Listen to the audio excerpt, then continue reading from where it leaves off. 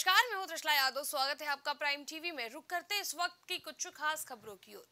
CM Yogi Adityanath अपने दो दिवसीय दौरे पर गोरखपुर पहुँचे, जहाँ मुख्यमंत्री योगी आदित्यनाथ ने रविवार को जीडीए के कॉरपोरेट पा में उत्तर प्रदेश के राजर्षि टंडन मुक्त विश्वविद्यालय के क्षेत्रीय भवन का शिलान्यास किया। सीएम इसके बाद गीता प्रेस गए, जहाँ उन्होंने राष्ट्रपति कार्यक्रम को लेकर चल रही तैयारियों का जायजा लिया। सीएम योगी ने कहा कि उत्तर प्रदेश राजर्षि टंडन मुक्त विश्वविद्यालय के क्षेत्रीय केंद्र का अपना भवन होने से पूर्वी उत्तर प्रदेश के हज़ारों स्टूडेंट को उच्च शिक्षा मिलेगी। गोरखपुर शिक्षा का हब बन रहा है। मुख्यमंत्री ने यहाँ पौधारोपण भी किया। नेशनल एजुकेशन पॉलिसी का मुख्य उद्देश्य है उस उद्देश्य की पूर्ति करने में अग्रणी भूमिका का निर्वहन। राशि टंडन विश्वविद्यालय करने में सफल होगा। राज्य सरकार के स्तर पर जिस भी प्रकार के सहयोग की आवश्यकता इस दिशा में पड़ेगी राज्य सरकार इसमें विश्वविद्यालय को भरपूर सहयोग करेगा। एक बार फिर से विश्वविद्यालय की कुलपति प्रोफेसर सीमा सिंह जी को, उनकी पूरी टीम को हृदय से इस कार्यक्रम के लिए बधाई देता हूँ। इस सेंटर से जुड़े हुए जितने भी यहाँ पर छात्र छात्राएँ हैं या जो भी डिप्लोमा, डिग्री के कोर्सेज के साथ जुड़े हुए लोग हैं, उन सबको मैं हृदय से बधाई देता हूँ। निरंतर अपने लक्ष्य को प्राप्त करने हेतु प्रयत्नशील है। जिस प्रकार आपने समाज के अंतिम व्यक्ति तक न्याय की पहुँच सुनिश्चित करने एवं प्रत्येक व्यक्ति के सर्वांगीण विकास का कार्य किया है, उसी प्रकार विश्वविद्यालय भी आपके मार्गदर्शन एवं प्रेरणा से प्रदेश के हर व्यक्ति तक उच्च शिक्षा पहुँचाने के लिए कांग्रेस ने राज्यसभा चुनाव के लिए 10 उम्मीदवारों के नाम की पहली सूची रविवार को जारी की है। कांग्रेस ने इस सूची में उत्तर प्रदेश के तीन नेताओं को राज्यसभा भेजने का फैसला किया है। हालाँकि यूपी विधानसभा में पार्टी के पास केवल दो विधायक है, कांग्रेस के पास यूपी में केवल दो विधायक है। यहाँ प्रतापगढ़ की रामपुर खास सीट से आराधना मिश्रा मोना और महाराजगंज ज़िले के फरेंदा सीट से वीरेंद्र चौधरी विधायक है। लेकिन पार्टी ने यूपी के तीन नेताओं के नाम के ऐलान किया है, जिन्हें पार्टी राज्यसभा भेजेगी। पार्टी ने राजीव शुक्ला, इमरान प्रताप गढ़ी और प्रमोद तिवारी के नाम का ऐलान किया है।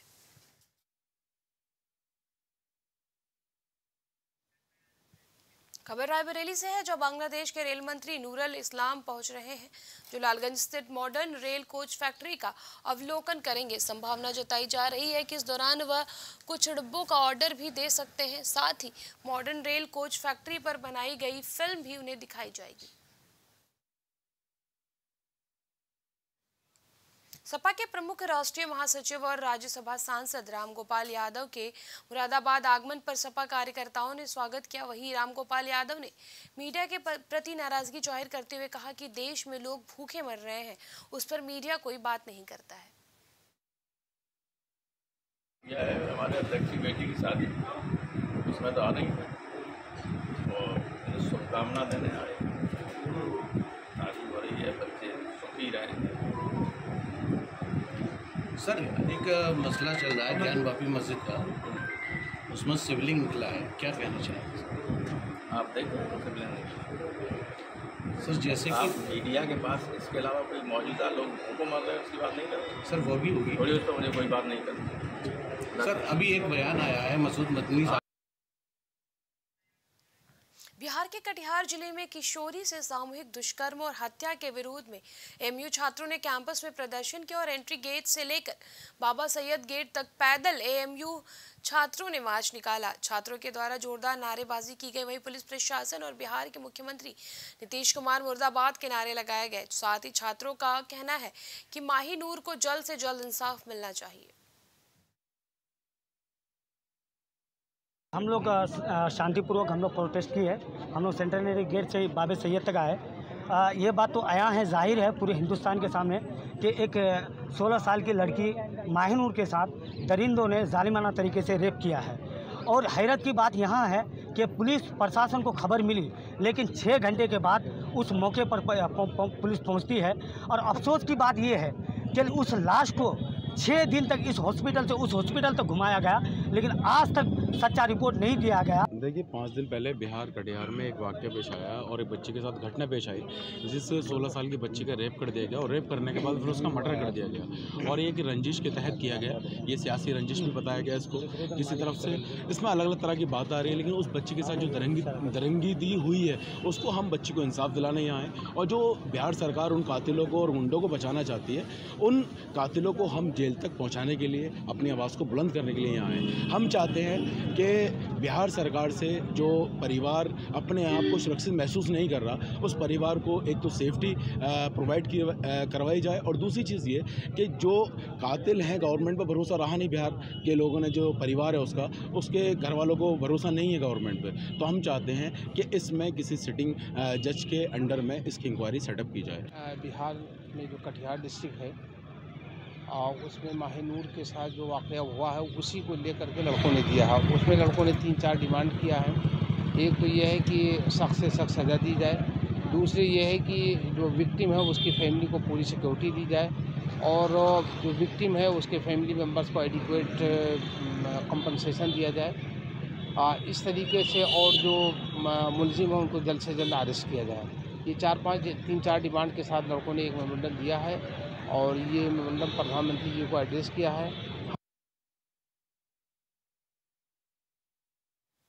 खबर कानपुर से है, जहाँ डीसीपी वेस्ट पुलिस की टीम को बड़ी सफलता मिली है, जहाँ डकैती की योजना बना रहे तीन अभियुक्त को गिरफ़्तार किया गया है, जो एक बड़ी वारदात को अंजाम देने वाले थे। तो पुलिस ने इन दोनों अभियुक्तों के पास से पिस्टल और कारतूस भी बरामद किया है और आगे की कार्रवाई में जुट गई है। हमारे पश्चिम जोन के थाना कल्याणपुर क्षेत्र में जब रामा डेंटल कॉलेज के यहाँ जो खेतों के पीछे जब, कल हमारे टीम जब ऐसे ही खास मुखबिर की सूचना पर जब चेकिंग कर रहे थे तो पाँच लोग वहाँ पे खेतों में एक योजना बना रहे थे। उनमें से तीन लोग पकड़े गए हैं। इनका मेन मकसद था कि एक जाने माने डॉक्टर है, उनके भतीजे के प्लान के उपरांत ये लोग करने मतलब डकैती करने का खबर लखीमपुर खीरी से है, जहाँ शासन के निर्देश पर थाना प्रभारी निरीक्षक और हमराव पुलिस कर्मियों के मुखबिर की सूचना पर कंधईपुर गाँव के पीछे अवैध खनन कर रही एक जेसीबी मशीन तथा दो डंपर मिट्टी भरे डंपर पकड़कर थाने लाकर अपने कब्जे में लेकर विविध कार्रवाई की, जिसमें क्षेत्र में अवैध रूप से खनन करने वालों में दहशत का माहौल बना हुआ है, जिसको लेकर प्रभारी निरीक्षक ने कहा कि अवैध रूप से खनन बिल्कुल नहीं होने दिया जाएगा, चाहे खनन माफिया कितनी भी पहुँच वाली क्यों ना हो। खबर उन्नाव से है। पुलिस के हाथ बड़ी सफलता लगी है। जिन्होंने सर्वेलांस और मुखबिर की निशानदेही पर पाँच थाना क्षेत्रों में हुई चोरी की। बड़ी वारदात को अंजाम देने वाले छह शातिर चोर, लाखों के माल, जेवरात, नकदी व पिकअप वाहन, बाइक, तमंचे व कारतूस के साथ पकड़ा गया। पुलिस ने इन शातिर चोरों को चोरी लूट की धाराओं में मुकदमा दर्ज कर जेल भेज दिया है। युवक के आपराधिक रिकॉर्ड को भी खंगाला जा रहा है। एसबी उन्नाव ने खुलासा करने वाली टीम को दस हज़ार का इनाम देने की घोषणा की है। थाना पुरवा और हमारे जो सर्विलांस सेल की जो एस की टीम के द्वारा एक चोरों का गैंग पकड़ा गया है, जिसमें जनपद के विभिन्न थाना क्षेत्रों में आठ चोरियों का खुलासा हुआ है। जिसमें से एक लोडर, तीन मोटरसाइकिलें और सभी चोरियों में जो सामान गया था, वो बरामद हुआ है। और इस तरह एक काफ़ी अच्छा काम हुआ है और इनको जो है, अरेस्ट करके गिरफ्तारी करके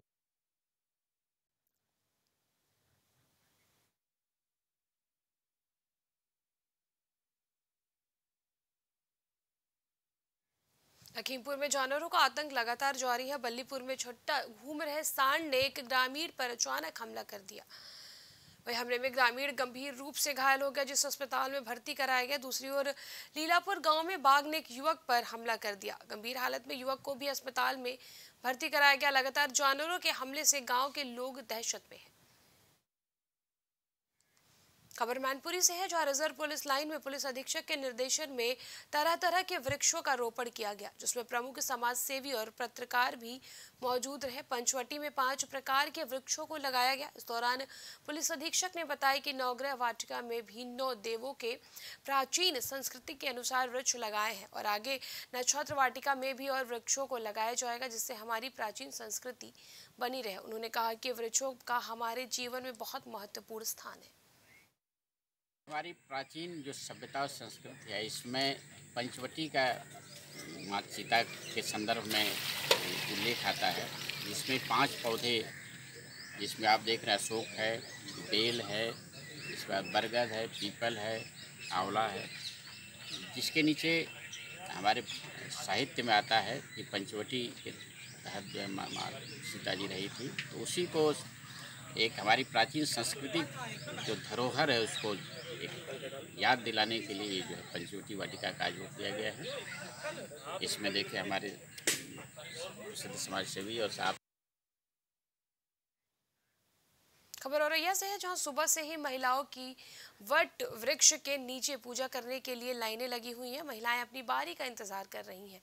आज के दिन महिलाएँ अपने पति की लंबी उम्र की कामना करती हैं तो वहीं आज ही के दिन सती सावित्री ने अपने पति को यमराज से वापस मांग लिया था। तो वही दूसरी मान्यता के अनुसार आज ही के दिन माता सीता ने वनवास जाने पर भी व्रत रखा था।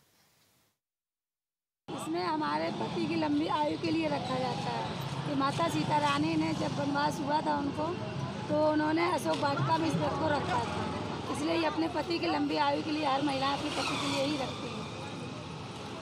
सुख, शांति, समृद्धि की भी पूजा होती है। और क्या नाम वट वृक्ष माता हैं, ये हमें मतलब छाया शीतलता देती हैं औषधि भी प्राप्त होती है उनसे हमारे में भी काम आती है। ये पति के लिए मांगी जाती है। पति की लंबी आयु के लिए। व्रत तो आगे लिए औरत करती है पूजा। पति की लंबी आयु के लिए। और तो आगे लिए महिला मट व्रत की पूजा करती है। इसमें पुआ है पूड़ी है, परगदा है। चने हैं और खरबूजा है ये सारी चीज़ें सामग्री इकट्ठी करके पूजा करते हैं। ये ये कि मेरी पति की लंबी बनो और हम लोग जीवन हर जन्म में यही पत्नी रही ऐसी आपको नहीं लेंगे। और हमेशा हम लोग सुखी जीवन रहे आज़ादी हो रही है कि हम लोग अपने पति के लंबी उम्र के लिए व्रत रख रहे हैं। यहाँ पे वो जो वृक्ष होता है उसके लिए बारह को बनाते हैं गोल हुए बनाते हैं पूड़ियाँ बनाते हैं और माला जो करना था उसको बनाते हैं और फेरी लगाते हैं उसकी। अपने पति की लंबी उम्र के लिए हम सभी जो भी स्त्रियाँ हैं ये व्रत रखती हैं उसके बाद व्रत की पूजा करके और अपने पति की लंबी उम्र की कामना करती हैं। इसके अलावा भी और क्या इच्छा रखती हैं कई मनोकामना पूरी होती है? नहीं ये व्रत अपने पति के लिए ही होता है। बाकी जो मनोकामना होंगी और भी व्रत बने हुए जो व्रत सावित्री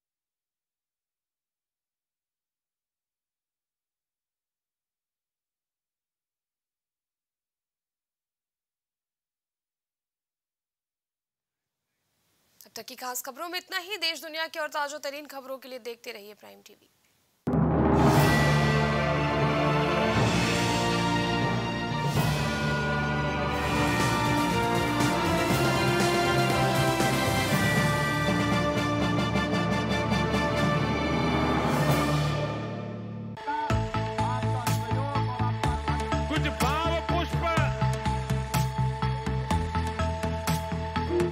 देख रहे हैं प्राइम टीवी सच साहस सरोकार।